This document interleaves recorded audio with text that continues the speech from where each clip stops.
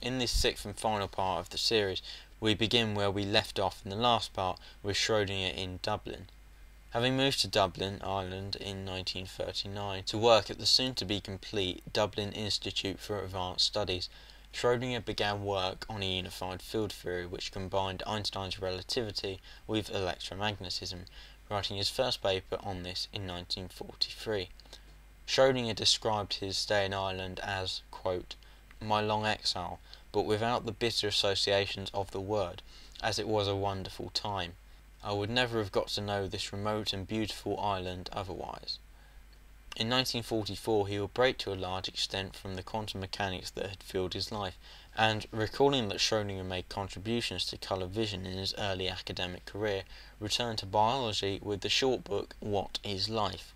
In 1946 he renewed his correspondence with Einstein on unified field theories, believing to have made a major breakthrough in early 1947.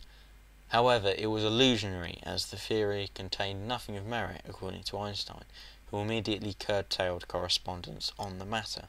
Unified field theory was not the only topic of interest for Schrödinger in Ireland. Along with the aforementioned What is Life, he also wrote Nature and the Greeks in 1954, which summarized his learning about Greek science and philosophy.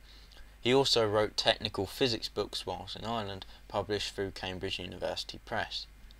In the winter term of 1950, he returned to Austria as a visiting scholar at the University of Innsbruck, and in 1956 left Ireland to return to his native Austria, taking up a special position set up for him at the University of Vienna, where he had enrolled as a student 50 years earlier.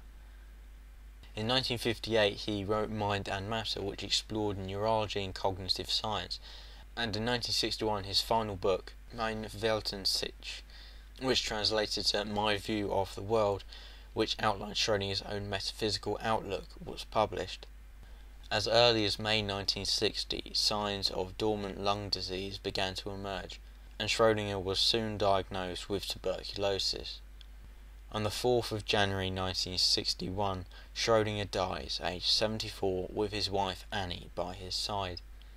He left a lasting legacy in physics, having produced one of the, if not the most important equations of quantum mechanics and whilst his later years were not as revelatory as his 1926 formulation, he still left an indelible mark upon science and can easily be considered one of the great scientific minds of the 20th century.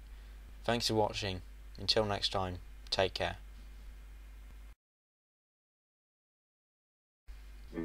I'd like to thank everyone who's watched the series, liked, commented, or favourited any parts, or shared any parts with other people.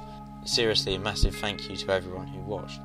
Now, this audio is pre recorded, so mistakes may have been pointed out already, but please, if you do see any mistakes, please don't hesitate to point them out, as well as any improvements you can think of for future reference. Again, thank you for watching, guys and gals.